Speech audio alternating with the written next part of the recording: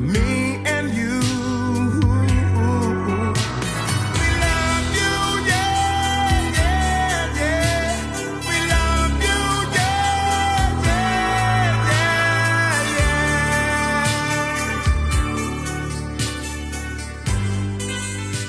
Was it a good, happy mood? Was it tense? What was the mood like?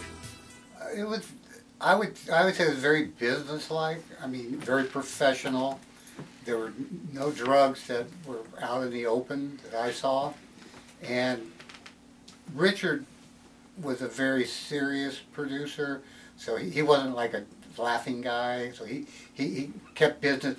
When John was there, he just took over.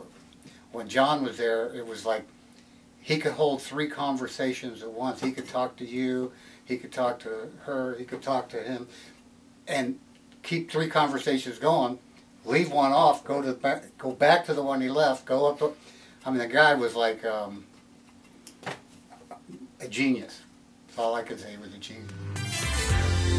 Lady Madonna, Eleanor Rigby too, even old Sergeant Pepper, Michelle and